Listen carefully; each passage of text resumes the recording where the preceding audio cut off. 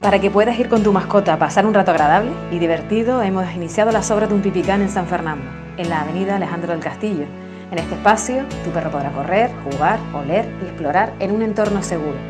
Además, dotar de varios pipicán a nuestro municipio nos va a permitir tener calles más limpias,